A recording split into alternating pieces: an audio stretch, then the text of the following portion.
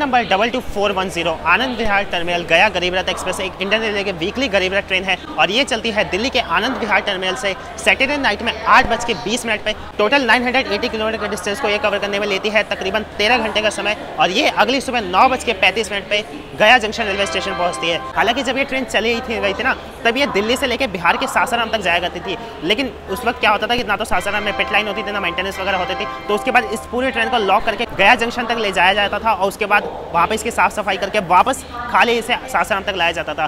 तो आप जानते हैं ना यार जब पॉलिटिशियन ट्रेन चलाते हैं और कोई भी ट्रेन अगर इंडियन रेलवे पॉलिटिशियन के थ्रू चलती है तो उसमें लॉजिक नहीं देखा जाता है। तो वैसे ही इसका लॉजिक नहीं देखा गया था कि भाई सासाराम तक हम इस ट्रेन को क्यों चला रहे हैं। कुछ ऑफिसर्स वगैरह आया और इन्होंने इसको गया जंक्शन तक एक्सटेंड किया, जो कि एक काफ़ी अच्छी चीज़ है। और टाइमिंग के हिसाब से ना, दिल्ली से गया के बीच में जितनी भी ट्रेनें चलती है ना, उसमें सबसे बेस्ट ट्रेन है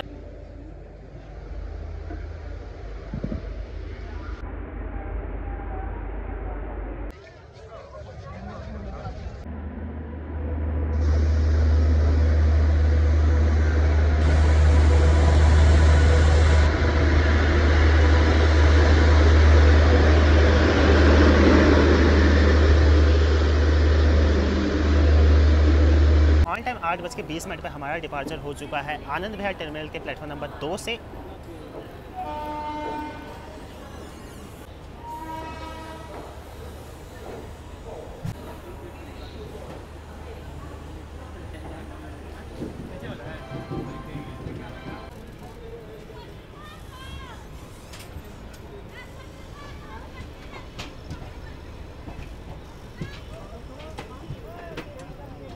देखिए, ऐसा होता है कुछ करीब रथ का कॉरिडोर ये है इसका वॉश बेसिन यहाँ पे है डस्टबिन और अपना पुराना आई कोच है, लेकिन यार ये 130 पे चलती है, ये इसकी खासियत है।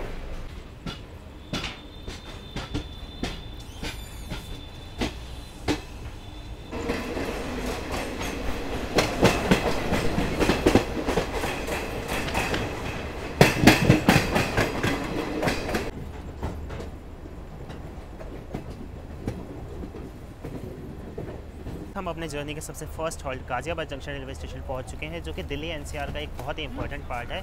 और आमतौर पे जितनी भी ट्रेनें दिल्ली से निकलती है, आमतौर पे जितनी भी ट्रेनें आनंद विहार से निकलती है ना, उनमें 90 परसेंट ट्रेन का हॉल्ट गाजियाबाद पर दिया जाता है, ताकि जो दिल्ली पर है ना, वो लोड कम हो जाए पैसेंजर्स का।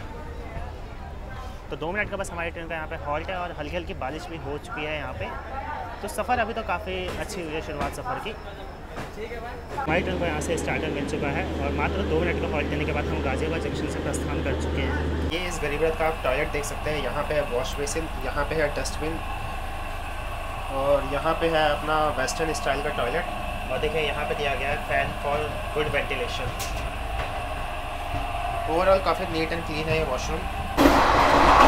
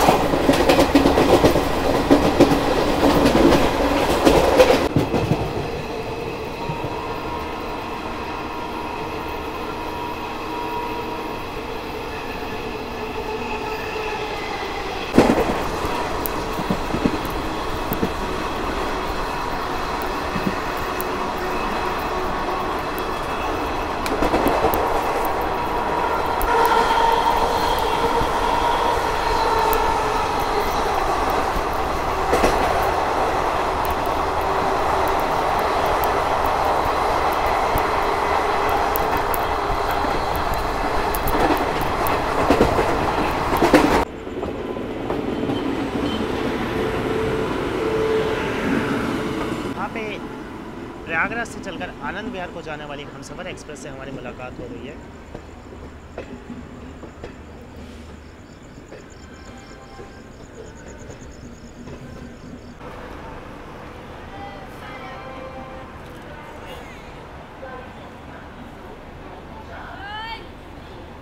तो रात्रि के एक बज के दस मिनट हो रहे हैं और इस वक्त हम आ चुके हैं उत्तर प्रदेश के फाइनेंशियल कैपिटल कानपुर के कानपुर सेंट्रल रेलवे स्टेशन में।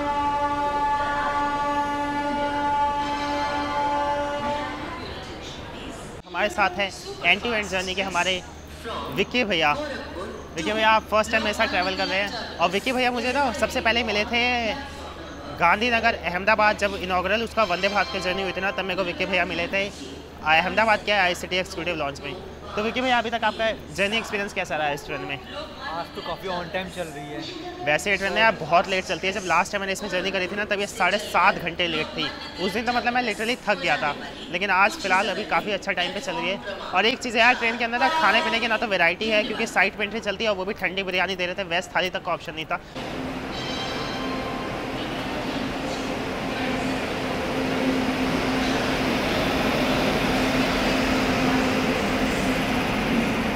तो यहाँ पे G K P L T T Kushinagar superfast express आ चुकी है। प्लेटफॉर्म नंबर चार पे। देखिए, रात काफ़ी हो चुकी है और मैं चल के अभी तीन चार घंटे सोने वाला हूँ और मैं अगला, यानी प्रयागराज जो कि संगम सिटी है, उसे स्किप करने वाला हूँ क्योंकि तकरीबन सुबह चार बजे के करीब आएगा।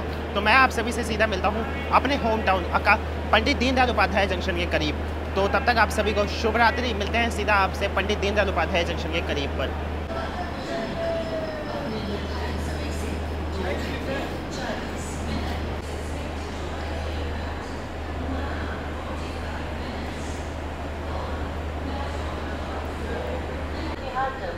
से चलकर हटिया को जाने वाली अपने निर्धारित समय से चल रही है इसके लिए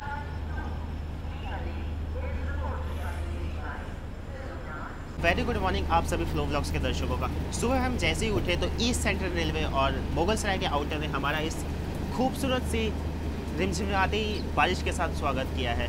तो उससे कुछ ही पल में हम पंडित दीनदयाल उपाध्याय जंक्शन पहुँचने वाले हैं, जिससे पहले मुगल सराय के नाम से जाना जाता था।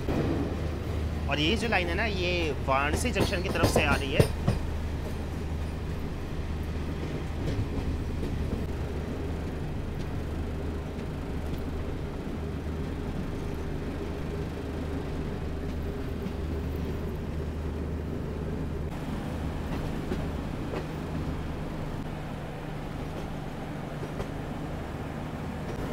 Pandit Deendayal Upadhyay junction electric locomotive shed. और भाई जब भी मैं पंडित दीनदयाल उपाध्याय जंक्शन आता हूँ मैं अगर ये देखिए इसको देख के भाई मुझे बड़ी हँसी आती है। आई I मीन mean, इस कमरे को देख के तो देख के नहीं लेकिन उसके ऊपर जो वार्निंग लिखी है ना भाई उसको देख के मुझे बड़ा सही मज़ा आता है।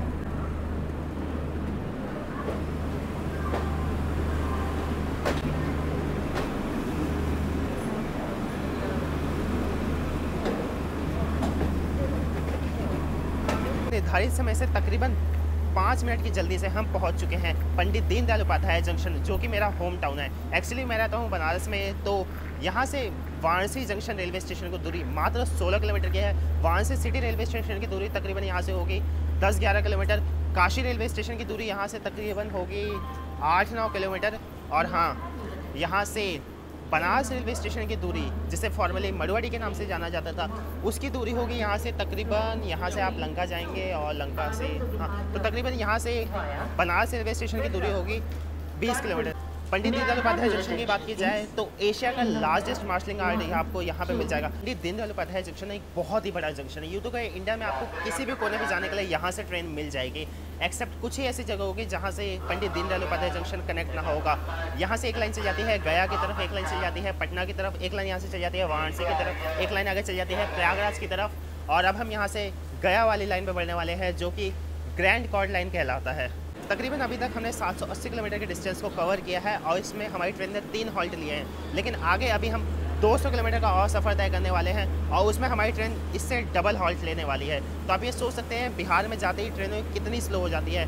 और गया वाली जो लाइन है ना उसमें मेरे ख्याल से दुरंतो और राजधानी को छोड़ के तो जितनी भी ट्रेनें चलती है, ऐसे पंडित दीनदयाल उपाध्याय जंक्शन के बीच में नॉन स्टॉप तो नहीं चलती है। अगर कोई चलती हो ट्रेन तो आप मुझे ज़रूर से बताएँ, मैं जानना चाहूँगा। पंडित दीनदयाल उपाध्याय जंक्शन में आपको मिलेगा एशिया का largest marshalling yard marshalling yard वो जगह होती है जहाँ पे जो अपने ट्रेन गुड्स ट्रेन सुनी होती है, उनको असेंबल किया जाता है, उनको तोड़ा जाता है डिसम्बल किया जाता है और फिर उनको यहाँ से एक नई ट्रेन बजा के देश की जगह जगह कोने कोने पर भेजा जाता है। टोटल आठ प्लेटफॉर्म का ये रेलवे स्टेशन है, जिसमें से एक से लेकर छः तक तो काफ़ी पहले ही बन गए थे, लेकिन सात आठ अभी ही तीन चार साल पहले बने हैं। और प्लेटफॉर्म नंबर एक पे खड़ी है हमारी गरीब रथ एक्सप्रेस और यह है प्लेटफॉर्म नंबर दो।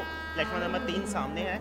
और जो इस स्टेशन का मेन प्लेटफॉर्म है ना, वो प्लेटफॉर्म नंबर एक और दो ही है। यहीं पे आपको मतलब मेजोरिटी ऑफ़ फैसिलिटीज़ मिल जाएँगी। और यार स्टेशन पर खाने पीने की भी काफ़ी सारी वैरायटीज़ अवेलेबल रहती है। फ्रूट्स वगैरह तो आपको यहाँ पे बहुत ही तमाम मात्रा में मिलेंगे। आप सभी को एक चीज़ बताना चाहूँगा कि यार, अगर पंडित दीनदयाल उपाध्याय जंक्शन में आप फ्रूट वगैरह लेते हैं ना तो बहुत ही ध्यान रखा रहिएगा, क्योंकि यहाँ पर चोरी तो मतलब बहुत ही हाई लेवल की होती है।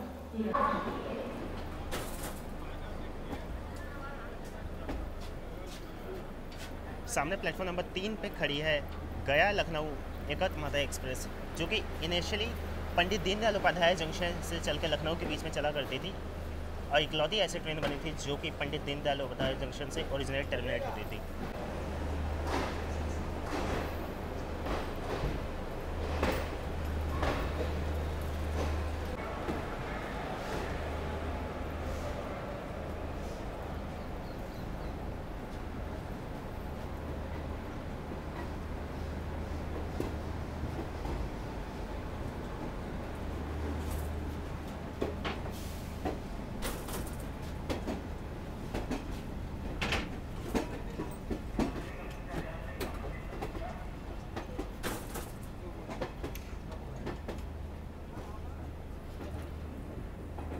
तो यार देखिए अभी हम पंडित दीनदयाल उपाध्याय जंक्शन से निकल चुके हैं और फाइनली हमारे नसीब में इस ट्रेन में कुछ तो यार मिला हमें है ना? और वो मिली है हमें ये मसाला चाय। तो भाई विक्की भाई टेस्ट करिए आप बताइए। ठीक है नॉर्मल पानी जैसा तो नहीं लग रहा है एक बार टेस्ट कर लीजिए वरना व्यूअर्स को लगेगा जैसे मज़ाक कर रहे हैं। नहीं ठीक है पानी जैसा नहीं लग रहा है। तो विक्की भाई को भाई चाय का टेस्ट अच्छा लगा? और हाँ यार ठीक है मतलब कह सकते हैं सिक्सटी परसेंट चाय, फोर्टी परसेंट पानी विच इज़ ओके मैंने यार इंडियन रेलवे में ना जब भी मैं सुबह उठता हूँ मेरा गर्म पानी का मूड पीने का मूड करता है और मेरे को इंडियन रेलवे कभी डिसअपॉइंट नहीं करती है अपने इस टी फ्लेवर्ड हॉट वाटर से।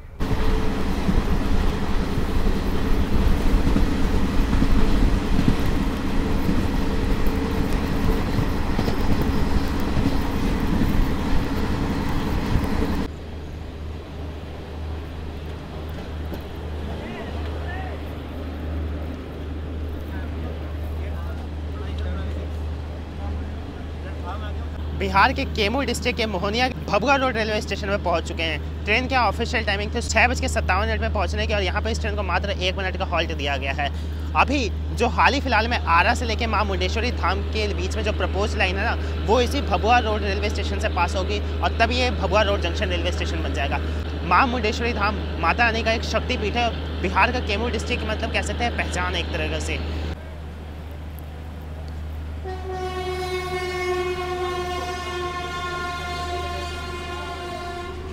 केस अगर आप इस गरीब रथ एक्सप्रेस में ट्रैवल करना चाहते हैं, दिल्ली से गया के बीच में तो इस ट्रेन में सिर्फ़ मात्र A C three tier class लगती है।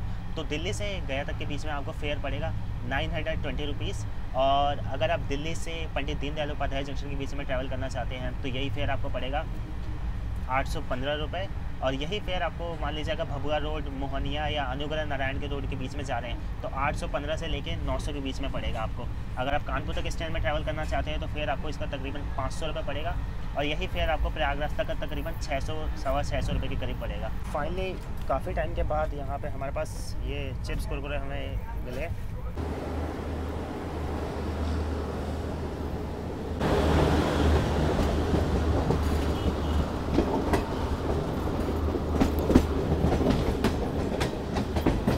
तो इस वक्त चुके हैं बिहार के रोहतास डिस्ट्रिक्ट के सासाराम जंक्शन रेलवे स्टेशन पे।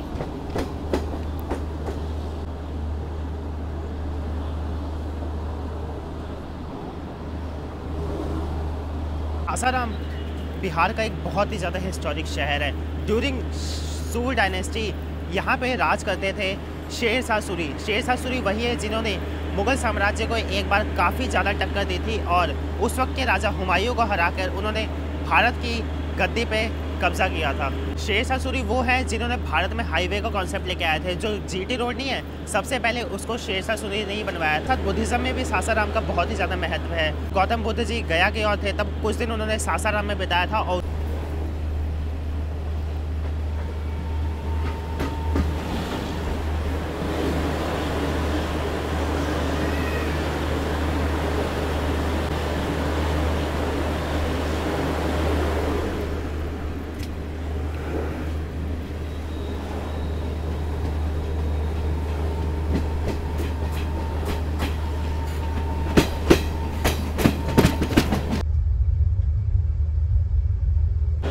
यार मुझे ना सबसे ज़्यादा बुरी ये है जहाँ पे ये ना प्लेटफॉर्म इतने छोटे होते हैं मतलब उतरने चढ़ने में एल्डर लोगों को काफ़ी दिक्कत होती है। दिल्ली में आपको देखने को मिलेगा, दुनिया का चौथा सबसे बड़ा बैराज, जिसे इंदिरापुरी बैराज कहते हैं, और वो बसा है सोन नदी के ऊपर। और साथ ही साथ यहाँ से निकलते साथ ही हमारी अब मुलाकात होने वाली है नेहरू सेतु से, जो कि एक टाइम टाइम पे भारत का चौ, नेहरू सेतु एक टाइम पे भारत का सबसे बड़ा ब्रिज हुआ करता था।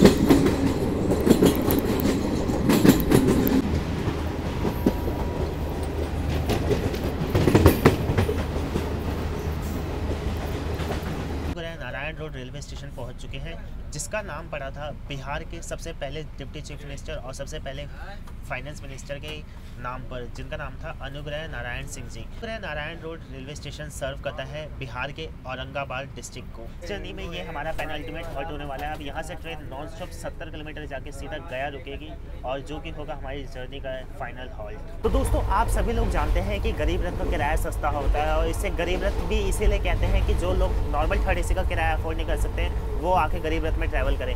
तो इसका सबसे बड़ा रीज़न पता है क्या है? किराया सस्ता होने का। नॉर्मल थर्ड ए में क्या होता है? लोअर बर्थ होती है मिडल बर्थ होती है अपर बर्थ होती है साइड लोअर साइड अपर होती है।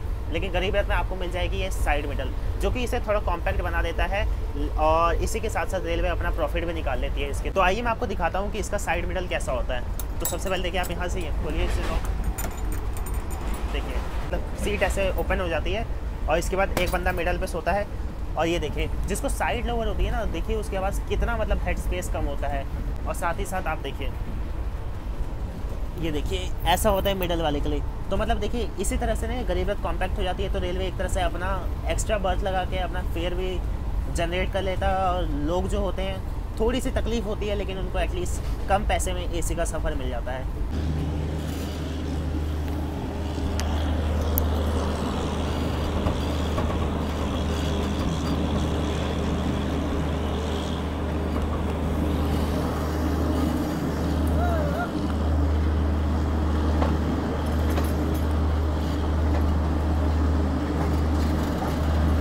तकरीबन 980 किलोमीटर के सफ़र को 13 घंटे में पूरा करके हम इस वक्त आ चुके हैं गया जंक्शन रेलवे स्टेशन पे। ट्रेन के यहाँ निर्धारित पहुँचने की टाइमिंग थी सुबह नौ बज के पैंतीस मिनट पर और अपने समय से तकरीबन 10 मिनट की जल्दी से हम यहाँ पे आ चुके हैं। और हमारे ठीक पीछे खड़ी है Secunderabad Patna special fare train platform number छः पे हमारा अराइवल हुआ है और अब यहाँ से मैं कुछ देर का रेस्ट लेने वाला हूँ और यहाँ से हम बोर्ड करेंगे बिहार के गया के शान।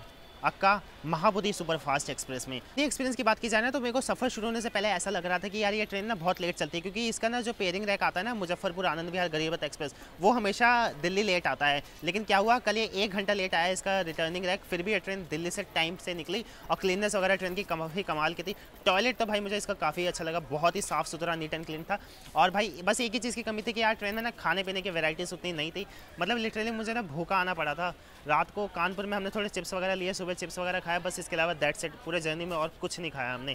तो अब हम जाएँगे, बाहर कुछ खाएँगे, पियेंगे और उसके बाद फ्रेश होकर महाबोधि एक्सप्रेस का कंटेंट आपसे सभी लाएगा ट्रेन के एक्सपीरियंस की बात है तो ट्रेन मतलब सब कुछ ओवरऑल ठीक था अगर आप इस ट्रेन में ट्रैवल करना चाहते हैं तो आपके लिए रिकमेंडेड है, बस अगर ट्रेन टाइम पर है ना ये तो मेरे ख्याल से दिल्ली से गया के बीच में सबसे बेस्ट कनेक्शन है। इवन महाबोधि से अच्छी है, क्योंकि महाबोधि की टाइमिंग बहुत ही ज़्यादा ऑर्ड है। और महाबोधि का स्लीपर का ticket around six hundred rupees के करीब आता है और इसका नाइन हंड्रेड रुपीज़ के करीब में आता है।